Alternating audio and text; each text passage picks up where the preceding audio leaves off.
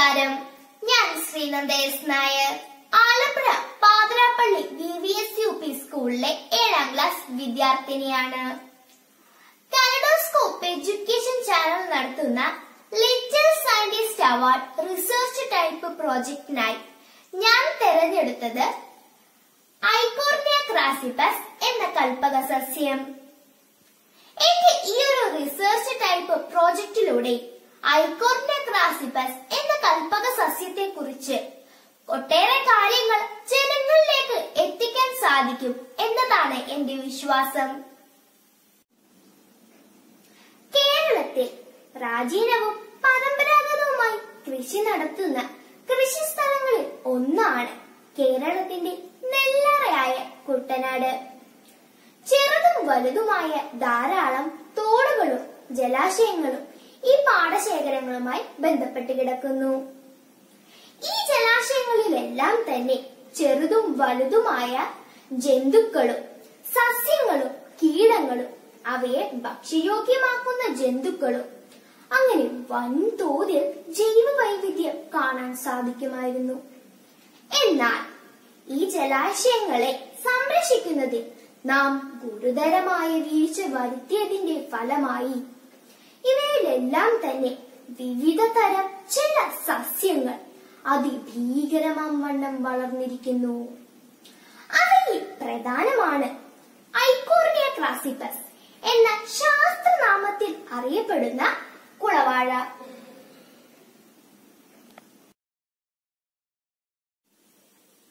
കുളവാഴ സൃഷ്ടിക്കുന്ന പാരിസ്ഥിതിക പ്രശ്നങ്ങൾ തിരിച്ചറിയുക കുളവാഴ മൂല്യവർദ്ധിത ഉൽപ്പന്നങ്ങളാക്കി മാറ്റുന്ന രീതികൾ തിരിച്ചറിയുക എന്നീ ലക്ഷ്യങ്ങളെ ആസ്പദമാക്കിയായിരുന്നു എന്റെ ഗവേഷണം.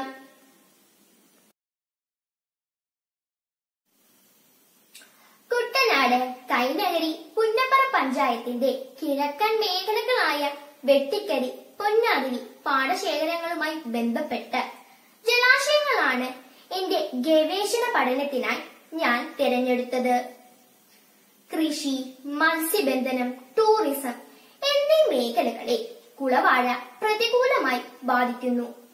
അതുമായി ബന്ധപ്പെട്ട് കർഷകരെയും മത്സ്യ തൊഴിലാളികളെയും ടൂറിസം മേഖലയിലുള്ളവരെയും സന്ദർശിച്ച് വിവരങ്ങൾ ശേഖരിച്ചു. മാത്രമല്ല കണ്ടെത്തലുകളിലൂടെ കാര്യങ്ങൾ അറിയുന്നതിനായി പ്രശ്ന മേഖലകൾ സന്ദർശിക്കുകയും സമീപവാസികളുമായി ചർച്ച നടത്തുകയും ചെയ്തു. ആ പ്രശ്ന മേഖലകളെയും കുളവാഴ മൂലം ഉണ്ടാകുന്ന ഭീഷണികളെയും നിരീക്ഷണ വിധേയമാക്കി.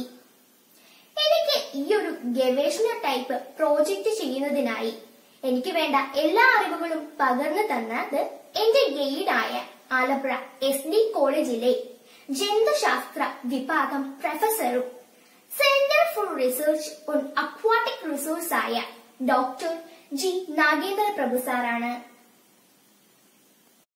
ചീഞ്ഞതാണെങ്കിലും പുതിയ ഫ്രഷായിട്ടുള്ളതാണെങ്കിലും ഇല്ലാത്തണ്ട് പൂവ് എന്തുണ്ടെങ്കിലും നമുക്കിതിനെ ഉണക്കിയെടുക്കും ഉണങ്ങിക്കഴിഞ്ഞാൽ നമുക്കിതിനെ ഉണക്കിക്കൊടുത്ത് ചാണക വെള്ളി പൊടിയൊക്കെ ആയി ഇന്ധനം ആക്കാം ഇത് ഒരു പുതിയ സാധനമാണെങ്കിലും ഫ്രഷായിട്ടുള്ളതാണെങ്കിൽ അതിനെ അരച്ച് പൾപ്പാക്കിയിട്ടാണെങ്കിൽ ഉൽപ്പന്നം ഉണ്ടാക്കും പൂവിൽ നിന്ന് നമുക്ക് ജൈവ നിറം ഉൽപ്പാദിപ്പിക്കാം കയറ്റുപായിൽ പൂവിൽ നിന്നും കുളവായുടെ പൂവിൽ നിന്നും എടുത്ത നിറമാണ് ഇത് ചെയ്തിരിക്കുന്നത്. അപ്പം അങ്ങനെ എല്ലാ തരത്തിലുള്ള നിന്നുള്ള ജൈവ നിറമാണ് ഏഴ് എട്ട് തരത്തിലുള്ള ജൈവ നിറങ്ങൾ ഇന്ന് വരുത്തിച്ചിട്ടുണ്ട് അപ്പം അതൊക്കെ പരിസ്ഥിതി സൗഹൃദമായിട്ടുള്ള നിറങ്ങളാണ് ജൈവ ഇപ്പോഴത്തെ കാലത്ത് പ്ലാസ്റ്റിക്കിന്റെ ഉപയോഗം കൂടുതൽ ഇപ്പോൾ സാധാരണഗതിയിൽ ഇതുപോലുള്ള ട്രേക്കകത്താണ് ചെടിയൊക്കെ നല്ലത് അപ്പം അതിന് പകരം ഞങ്ങൾ നേരിട്ട് നടാവുന്ന ചെടിച്ചട്ടി ഉണ്ടാക്കി. ഇതിന് നിറച്ച് നേരിട്ട് വിത്ത് മുളപ്പിച്ച് നട്ടു കഴിഞ്ഞാൽ ചെടി ചെടി തന്നെ വളമാകുന്ന അത്ഭുത സാങ്കേതിക അല്ലേ? പ്ലാസ്റ്റിക് ഉപയോഗിക്കാതെ നമുക്ക് ഇതുപോലുള്ള ബദൽ മാർഗം കണ്ടു. പിന്നെ മത്സ്യങ്ങൾക്കുള്ള നീതിയുണ്ട് ബാക്കിയുള്ള കരകൗശല വസ്തുക്കളുണ്ട്. പേന ഹയാപ്പെൻ എന്ന് പറഞ്ഞിട്ടുള്ള പേന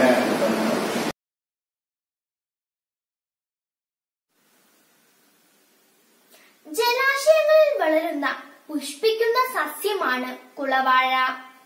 ഇംഗ്ലീഷിൽ വാട്ടർ ഹയാസിന്ത് എന്നറിയപ്പെടുന്നു. കാക്കപ്പോള കരിങ്കൂള പായൽപ്പൂ എന്നീ പേരുകളിലും കുളവാഴ അറിയപ്പെടുന്നു. തെക്കേ അമേരിക്കയിലെ ഭൂമധ്യരേഖയ്ക്കടുത്തുള്ള ആമസോൺ പ്രദേശമാണ് കുളവാഴയുടെ സ്വദേശം. കേരളത്തിലെ അധിനിവേശ സസ്യ ഇനങ്ങളിൽ ഒന്നായി പരിഗണിച്ചു വരുന്ന കുളവാഴയെ കർഷകർ കളയുടെ ഗണത്തിൽപ്പെടുത്തി കാണുന്നു. അഞ്ച് ഭൂഖണ്ഡങ്ങളിലായി അമ്പത് രാജ്യങ്ങളിൽ ഈ കള ഇന്ന് പ്രശ്നം സൃഷ്ടിക്കുന്നു. എട്ട് പായലിൽ നിന്ന് എട്ട് ലക്ഷം പായലാകാൻ എട്ട് മാസം മതി. ഇവയ്ക്ക് പണ്ടേ ഒരു പേരുദോഷമുണ്ട്.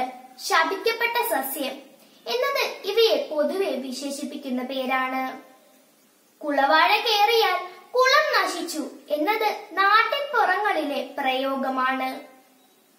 ബംഗാളിലെ ജനങ്ങളുടെ ഉപജീവന മാർഗമായ മത്സ്യബന്ധനത്തെ കുളവാഴ ബാധിച്ചിട്ടുള്ളതിനാൽ ഇവയെ ബംഗാളിന്റെ ഭീഷണി അഥവാ ടെറർ ഓഫ് ബംഗാൾ എന്ന് അറിയപ്പെടുന്നു.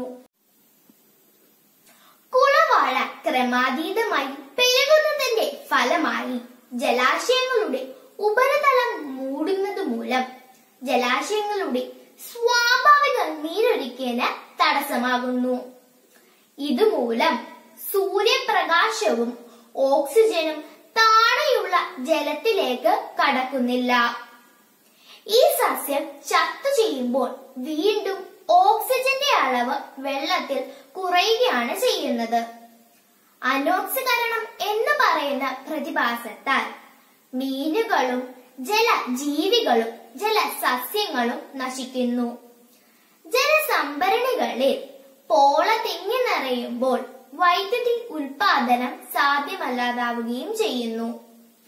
പലതരത്തിലുള്ള ഉപയോഗപ്രദമായുള്ള സസ്യങ്ങൾ നശിക്കുകയും ചെയ്യുന്നു. കൃഷിസ്ഥലങ്ങളിലേക്ക് വെള്ളം കയറ്റാൻ ബുദ്ധിമുട്ട് അനുഭവപ്പെടുന്നു. നെൽകൃഷിക്ക് ഇവ ഭീഷണിയായി മാറുകയാണ്. നെല്ലുകൾ ചെയ്യുന്നതിനും അവ ഇല്ലാതാക്കുന്നതിനും ഇവ കാരണമാകുന്നു. സ്വകാര്യ ആവശ്യങ്ങൾക്കായുള്ള കൊച്ചു വള്ളങ്ങളുടെ യാത്രയ്ക്ക് തടസ്സമാകുന്നു. മത്സ്യസമ്പത്ത് കുറയുന്നു. ചരക്കു ഗതാഗതത്തെയും ടൂറിസത്തെയും ഇവ പ്രതികൂലമായി ബാധിക്കുന്നു. അതേപോലെ തന്നെ കൊതുകുകൾ പെരുകാനായുള്ള സാഹചര്യം ഉണ്ടാക്കുന്നു. തന്മൂലം കൊതുകജന്യ രോഗങ്ങൾ പെരുകുന്നു. പരിസര മലിനീകരണത്തിന് വഴിയൊരുക്കുന്നു. ഇത്തരം പ്രതിസന്ധികൾ സാധാരണ ജനജീവിതത്തെ ദുരിതപൂർണമാക്കുന്നു. എന്നാൽ ഇത്തരം പ്രതിസന്ധികൾ സൃഷ്ടിക്കുന്ന കുളവാഴയെ ഉപയോഗത്തിലൂടെ നിയന്ത്രിക്കാൻ സാധിക്കുന്നു. ആലപ്പുഴ എസ് ബി കോളേജിലെ ജന്തുശാസ്ത്ര വിഭാഗം പ്രൊഫസറായ ഡോക്ടർ ജി നാഗേന്ദ്ര പ്രഭു സാറിന്റെ ഗവേഷണ ഫലമായി അദ്ദേഹം കുളവാഴയിൽ നിന്നും ഒട്ടേറെ മൂല്യവർദ്ധിത ഉൽപ്പന്നങ്ങൾ നിർമ്മിച്ചു. അഗ്നിച്ചിറകുള്ള സ്വപ്നങ്ങൾക്ക് യുവമനസ്സുകളുടെ പ്രണാമം. Doctor A P J Abdul കലാമിന്റെ കുളവാഴയിൽ തീർത്ത അതിമനോഹരമായ ഒരു ശില്പമാണ് നമ്മെ അദ്ദേഹത്തിന്റെ ലാബിലേക്ക് വരവേൽക്കുന്നത്.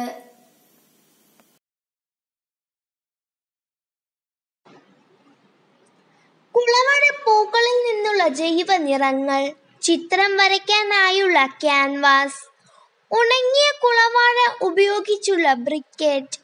ഡിസ്പോസിബിൾ പ്ലേറ്റ് ഗ്ലാസ് നേഴ്സറിക്ക് ചെടി വളർത്താനായുള്ള പോട്ട് വിവിധ തരം ബോർഡുകൾ നിർമ്മിക്കാനായുള്ള പൾപ്പ് കുളവാഴയുടെ ഉണങ്ങിയ തണ്ടുകൾ ഉപയോഗിച്ചുള്ള പായ കരകൗശല വസ്തുക്കൾ മണ്ണിര കമ്പോസ്റ്റ് അങ്ങനെ ഒട്ടേറെ ഉൽപ്പന്നങ്ങൾ. മാത്രമല്ല പാചകവാതകം മുതൽ ഡീസൽ വരെ കുളവാഴയിൽ നിന്നും ഉൽപാദിപ്പിക്കാൻ സാധിക്കുന്നു. പായൽ ജ്വാല എന്നാണ് doctor G Nagendra Prabhu sir അടങ്ങുന്ന സംഘം ഈ പ്രോജക്റ്റിനെ വിശേഷിപ്പിക്കുന്നത്. ഏകദേശം രണ്ട് കിലോ മൂന്ന് കിലോ പോളപ്പായലിൽ നിന്ന് രണ്ടര മണിക്കൂർ കത്തിക്കാനാകുന്ന പാചകവാതകം കുളവാഴയിൽ നിന്നും ഉൽപാദിപ്പിക്കാൻ സാധിക്കുന്നു. മറ്റ് രാജ്യങ്ങളിൽ കാലിത്തീറ്റ പന്നിത്തീറ്റ ചിലയിനം മത്സ്യങ്ങൾക്കായുള്ള ഭക്ഷണം എന്നീ രീതികളിലും ഉപയോഗിക്കുന്നു. എന്നാൽ ആലപ്പുഴ നഗരസഭയുടെയും ഹരിത കേരള മിഷനും ചേർന്ന് കനാലിലെ പോളകൾ അറുപത് ശതമാനം ഉണക്കി തമിഴ്നാട്ടിലേക്ക് കയറ്റി അയക്കുന്നു. ഇത്തരത്തിൽ കയറ്റി അയക്കുന്ന പോളകൾ തമിഴ്നാട്ടിലെ കമ്പനികളിൽ മൂല്യവർദ്ധിത ഉൽപ്പന്നങ്ങളാക്കി മാറ്റുന്നു. ഇത്തരത്തിൽ കയറ്റി അയക്കുന്നവയ്ക്ക് കിലോയ്ക്ക് പതിനഞ്ച് രൂപ വീതം ലഭിക്കുന്നു.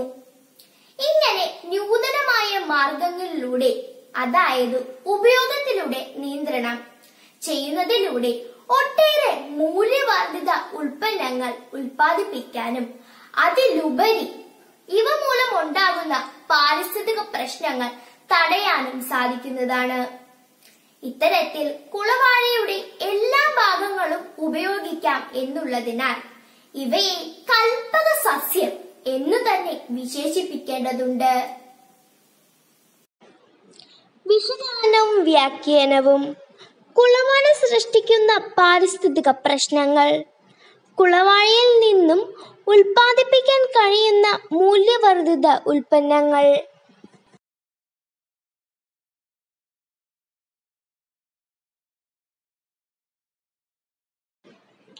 കുളവാഴയുടെ ക്രമാനുഗതമായ വളർച്ച. കുളവാഴ ക്രമാതീതമായി പെരുകുന്നത് ജീവജാലങ്ങൾക്കും നമ്മുടെ പരിസ്ഥിതിക്കും ഒരു വൻ ഭീഷണിയായി മാറിയിരിക്കുകയാണ്. കൃഷി മത്സ്യബന്ധനം ടൂറിസം എന്നീ മേഖലകളെ കുളവാഴ പ്രതികൂലമായി ബാധിക്കുന്നു. ജനജീവിതം ദുരിതപൂർണമാക്കുന്നു. എന്നാൽ ഇവയെ പൂർണമായും നിവാരണം ചെയ്യുക എന്നത് അസാധ്യമാണ്. മാത്രമല്ല അതിനായുള്ള പ്രയത്നങ്ങൾ നഷ്ടത്തിൽ കലാശിക്കുന്നു. എന്നാൽ ഈ സാഹചര്യത്തിൽ ഉപയോഗത്തിലൂടെ നിയന്ത്രണം ചെയ്യുക എന്നതാണ് ഏറ്റവും അനുയോജ്യമായ മാർഗം. ശരിയായിട്ടുള്ള മാർഗങ്ങൾ ഉപയോഗിച്ചാൽ അതിലൂടെ ധാരാളം തൊഴിലവസരങ്ങൾ സൃഷ്ടിക്കാനും മൂല്യവർദ്ധിത ഉൽപ്പന്നങ്ങൾ ഉണ്ടാക്കാനും. അതിലുപരി ഇവ മൂലമുള്ള പാരിസ്ഥിതിക പ്രശ്നങ്ങൾ ഒഴിവാക്കാനും സാധിക്കും. ഈ പ്രോജക്റ്റിന്റെ ഭാഗമായി ഞാൻ മുന്നോട്ട് വെക്കുന്ന നിർദ്ദേശങ്ങൾ. കർഷകരെ ജൈവവളം ഉപയോഗിക്കുന്നതിന് പ്രോത്സാഹിപ്പിക്കുക. കുളവാഴ പൊടി സൗജന്യമായി കിട്ടുന്ന ജൈവ സമ്പത്തുകളുടെ നൂതനമായ ഉപയോഗങ്ങൾ കണ്ടുപിടിക്കാനും നിലവിലുള്ളവ മെച്ചപ്പെടുത്താനുമുള്ള ഗവേഷണം പ്രോത്സാഹിപ്പിക്കണം. ഇപ്പോൾ തന്നെ ഇതിനു ലഭ്യമായ സാങ്കേതിക വിദ്യ നടപ്പാക്കാൻ സർക്കാരും തദ്ദേശ സ്വയംഭരണ സ്ഥാപനങ്ങളും തയ്യാറാവുക. കുടുംബശ്രീ അംഗങ്ങൾക്ക് ഇതിൽ നിന്നും പരിസ്ഥിതി സൗഹാർദ്ദവും ഉപയോഗപ്രദമായ രീതിയിൽ ഒരു വരുമാന മാർഗമാക്കുന്നതിനെ കുറിച്ച് ബോധവൽക്കരണം നടത്തുക. സ്കൂളുകളിൽ കുളവാഴയുടെ പ്രാധാന്യത്തെക്കുറിച്ച് ബോധവൽക്കരണ ക്ലാസും ഉൽപ്പന്നങ്ങളുടെ നിർമ്മാണ യൂണിറ്റും ആരംഭിക്കുക. ഈ ഒരു റിസർച്ച് ടൈപ്പ് പ്രോജക്റ്റിന് വേണ്ടുന്ന അഗാധമായ അറിവുകൾ പകർന്നു തന്ന എന്റെ ഗൈഡായ ആലപ്പുഴ എസ് ടി കോളേജിലെ centre for research on aquatic resource ആയ ഡോക്ടർ ജി നാഗേന്ദ്ര പ്രഭു സാറിനും ഈ ഒരു പ്രോജക്റ്റ് ചെയ്യുന്നതിനു വേണ്ടി എന്നെ ഏറെ സപ്പോർട്ട് ചെയ്ത എന്റെ പ്രിയ അധ്യാപികയായ ധന്യ ടീച്ചറിനും എന്റെ ഹൃദയത്തിൽ നിന്നും നന്ദി അറിയിക്കുന്നു. അതേപോലെ തന്നെ ഈ ഒരു കോവിഡ് മഹാമാരി കാലത്തും ഓൺലൈനിലൂടെ കുട്ടികളുടെ വിദ്യാഭ്യാസപരമായിട്ടുള്ള കഴിവുകൾ വികസിപ്പിക്കുന്നതിനും പ്രോത്സാഹിപ്പിക്കുന്നതിനും കാനഡോസ്കോപ്പ് എഡ്യൂക്കേഷൻ ചാനലിനോടും അതിന്റെ കൺവീനറായ ബഹുമാനപ്പെട്ട ബിജു മാത്യു സാറിനോടും വാക്കുകൾക്കതീതമായ നന്ദി അറിയിക്കുന്നു.